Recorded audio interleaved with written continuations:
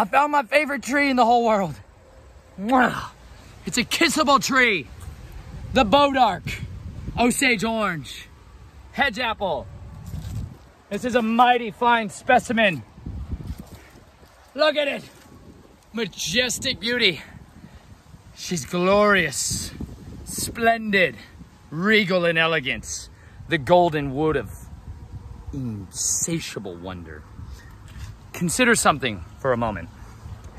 It said Moshe had a very particular rod in his hand when he delivered Yisrael from all of Mitzrayim's power, Egypt's power. He delivered them by the mighty right hand of Yahweh. And in that hand, he sent him forth to go do signs and wonders. And it was through the rod of Elohim, the rod of Yahweh. It's like a short staff, y'all. He had to make an ark of acacia wood. This is the acacia tree. Hold on a second.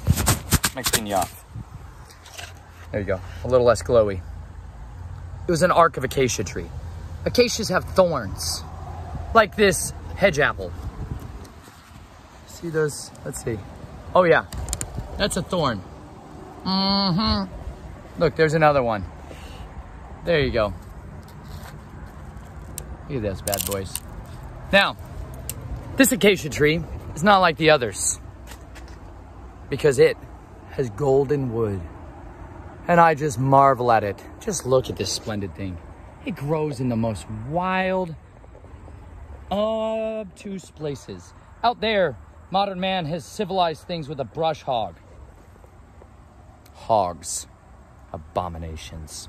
Consider dietary laws being some of the first instructions ever given. What you eat matters. Check this out. This tree, even though it looks like it's dead, like this branch that died off, it is still immeasurably strong. Even after it died off a long time ago. It is one of the strongest, hardest woods, period. And it's basically incorruptible. It does not perish. Just like the Ark of the Covenant, which did not perish and was made from acacia wood.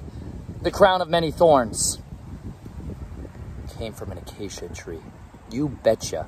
My conjecture is it came from the exact seed of the tree that Moshe used to build the Ark of the Covenant with. Because Yahweh is all about these ridiculously epic stories. Stories that take so long to tell, most people have died. And then their children's children's children, children died before hearing the end of the story. You are one of those people who heard the stories of Yahuwah and of his great deliverance and his salvation, Yeshua, to the nations. If you have heard those stories, welcome to the kingdom warfare, son. Now you get to contend against the radical, intelligent evil that is stalking mankind day and night. And the way we wage our wars is with trees. This is how the kingdom of Yahweh suffers violence, and violent men take it by force. We advance the kingdom of Yahweh and wage a ferocious war for the souls of men, and we do it with creation. Because heavens and the earth shouted out a witness when we swore our allegiance to Yahweh, when we said, This we shall do at Sinai. And if you're a child by blood or belief who clings to Yahweh and walks in his incredibly miraculous, empowering son's ways, you likewise will get the words of the covenant and all that comes with it, and the heavens and the earth begin to serve you. And that's your words, empowered by the Ruach, the set apart spirit, the Holy Spirit. He gives you life.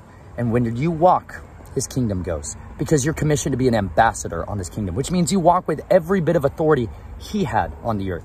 And when his son walked around, the earth physically responded instantly. It said he could turn stones into bread if he wanted. And you know what? He rained manna, the bread of Gibborim, the bread of angels, the mighty bread of the Shemaim, came down in desert places and fed his people. He caused flint, flint rock to split open and gush forth water. And he made thorny trees to provide the deliverance of his people. Consider strongly how powerful the witnesses are that are in that Ark of Acacia. And they're still crying out day and night. And the earth is hiding, hiding them inside her, waiting for the day where Yahweh reveals his commandments, reveals his golden ark again, and the throne of Yahuwah will be with men. Yeshua really is going to sit on the mercy seat. He's going to sit on that throne and over the ark of Acacia once again. And I long for you and everyone you know to be there because Yahweh was not willing that any should die, but that all should come to know him and to walk in his ways. So come and see the one who delivers. Come and see the one who provides faithful witnesses in the heavens above us, faithful timepieces, ever going forth, proclaiming to the nations. As long as the heavens declare the glory of Yahweh and the sun rises and sets, we know his Torah, his loving instructions are faithful and true.